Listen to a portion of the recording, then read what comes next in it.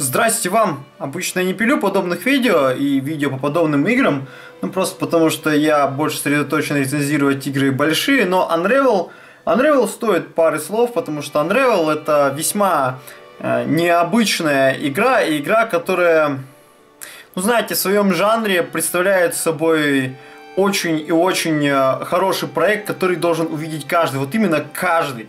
Понимаете, это не игра там, допустим, для любителей платформеров, не игра там, допустим, для казуалов, не игра для хардкорщиков, она для всех.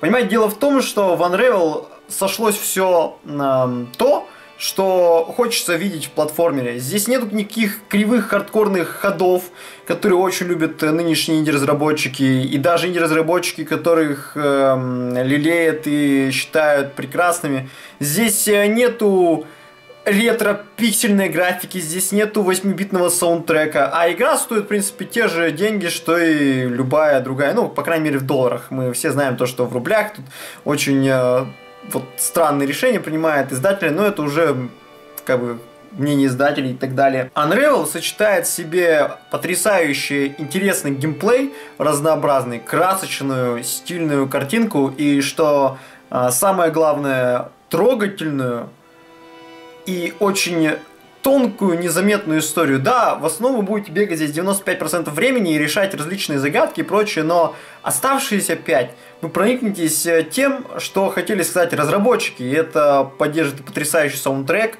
игры и поддерживает потрясающие визуальные составляющие. И она просто как бы основывается на весьма таких жизненных э, мотивах, в то же самое время предлагая вам потрясающий геймплей, который никак с этим практически не связан, просто является как бы а, то есть не геймплей является, а вот все то, что я сказал трогательное, оно является как бы оболочкой того, во что вот включен геймплей. А сам геймплей это платформер, в котором мы соединились вместе головоломки, основаны на физике, головоломки простые какие-то там, где вам нужно принести один блок к, другу, к одному месту и поставить, соответственно, его куда нужно. А, соединились моменты, в которых вам нужно от кого-то убегать, соединились экшен моменты, а, соединились моменты, где вам нужно исследовать территорию. Ну, естественно, это все не в таких больших масштабах, как можете представить, но 6-7 часов – в зависимости от того, как вы проходите, эта игра вас продержит экран, и она будет интересной от начала до конца, потому что это одна из тех игр, которая вам каждую секунду предлагает что-то новое. Если вдруг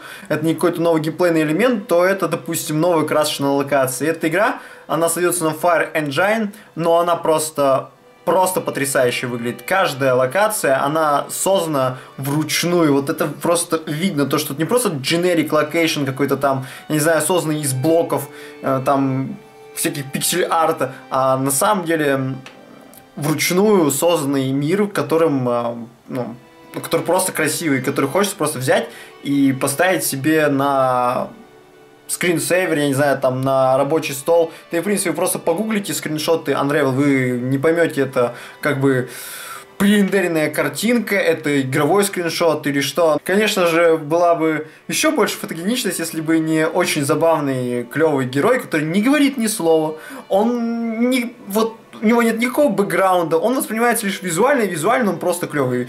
Эм, главный герой это просто фигурка из ниток, которая разматывается по ходу дела. И вы должны ну, во время геймплея, да, вы должны находить нитки, снова наматывать на, его зовут Ярни, на Ярни, ну то есть клубочек, и бежать дальше. Сколько мы не говорили, то, что Electronic Arts это корпорация зла, прекрасно, что они дают свет вот таким проектам, которые вот просто если вы приобретете, то пусть даже вы ощутите то, что может быть он немножко дорогой, но как бы вы не будете жалеть о том, что вы потратили там, допустим, на 200 рублей дороже на эту игру, потому что она а, потрясающая, душевная, ну и сейчас будет повторение слов, потому что неправильно построил фразу. В общем, она создана с душой, вы знаете, она просто, а, просто добрая, хорошая игра, которых на самом деле сейчас мало, учитывая сколько всякого пиксель-арта, хардкора и прочего дисбалансного отстоя, которого сейчас есть на рынке, учитывая еще и всяческие Early Access и Steam Greenlight, ну вы поняли,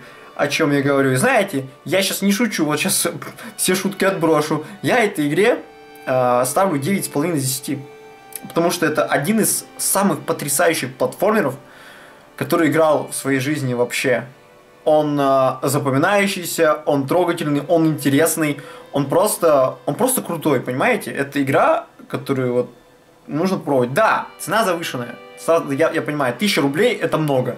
Э, это много, потому что, ну, в рублях, по крайней мере, потому что, допустим, за границей ну, стоит 20 долларов, а там, как бы, все таки так игры стоят 20 долларов, а у нас, если сравнить там игры в Steam и тут, да, то вы можете на 1000 долларов купить две игры, там, допустим, какой-нибудь Ведьмака или еще что-нибудь. Поэтому Конечно же, знаете, такому привычному, обычному человеку, да, если ему денег жалко, то стоит подождать, естественно, скидки, скидочки 50%, и эта игра никуда не убежит, это ничего там, не какой-то прорыв, да, понятно, но это просто отличная, отличнейшая игра, у которой просто нет недостатков. Если вы видите недостатки в этой игре, скорее всего, это недостатки а, вашего мозга, потому что вы просто-напросто не можете разгадать какую-то загадку, и вы чувствуете, что это тупо, а на самом деле тупой вы. Ну вот, у меня было такое дело, я почувствовал то, что я тупой на самом деле, и игра тут ни при чем. Поэтому, если что-то не так в игре, то, скорее всего, это вы, а не игра.